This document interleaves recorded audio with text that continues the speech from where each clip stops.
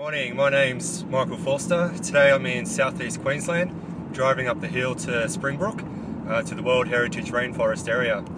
Today I'm going to visit Dr. Aila Keto. She's the president of the Australian Rainforest Conservation Society, and she's doing some great work up here um, in the rainforest, and she's using some of our equipment as well.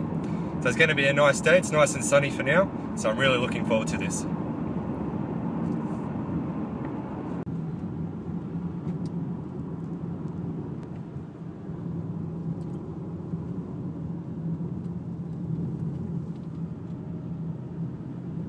Good afternoon, Aila. Um, good to see you again. It's good to see you too, Michael. Uh, so, just tell us what the Springbrook uh, Recovery Project is. Oh, it's all about bringing back a World Heritage Area. This whole plateau in this area uh, was cleared since 1906, and it is very important because it really is the heartland of the entire subtropical Gondwanan World Heritage Area because it most potentially most closely resembles the ancient paleoclimatic conditions under which many of the ancient species evolved. So we think it's really okay. important to to bring it back. Okay. And is it true you have about 170 weather stations here? Yes, we, we have a, a fantastic opportunity to have science informing the restoration.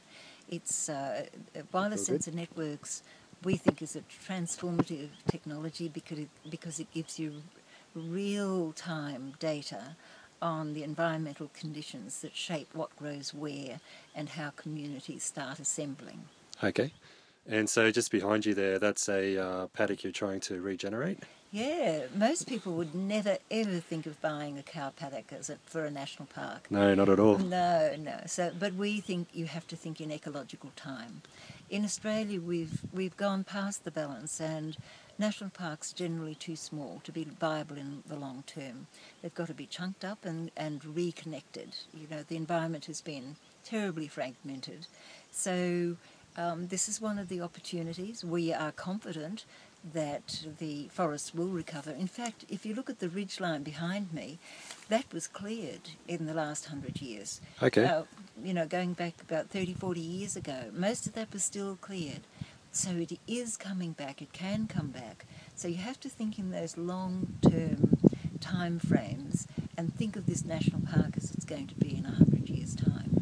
Okay, that's fantastic. Well, let's go have a look at the pristine rainforest. I'm really keen to see that. Okay, all right. Great.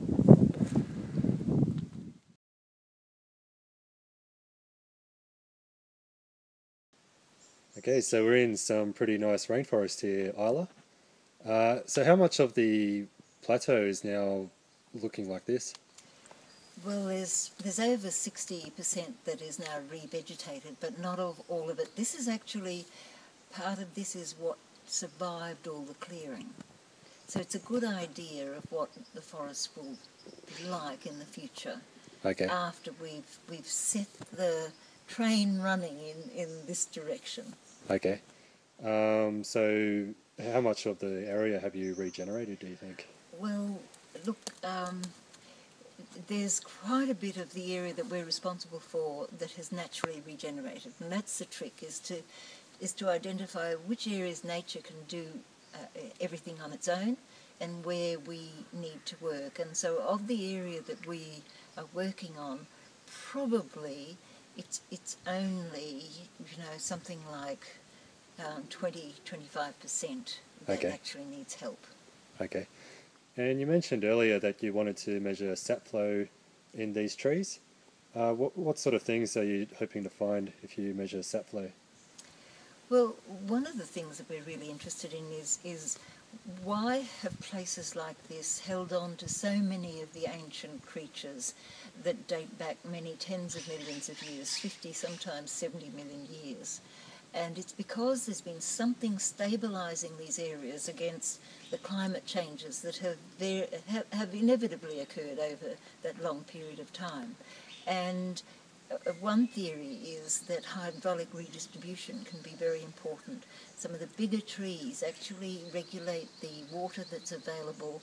Um, now that we've got very seasonal climates, they even out the moisture in the soils and in the microclimates for all the other species around them, and that would be really good to measure. Okay, that's fantastic. Well, Aila, it's uh, great visiting you again, and I love coming up here to Springbrook, and uh, thanks very much for having me. It's so good to see you, and uh, ICT has been fantastic help to us. That's fantastic, Aila. Thanks a lot. Thank you.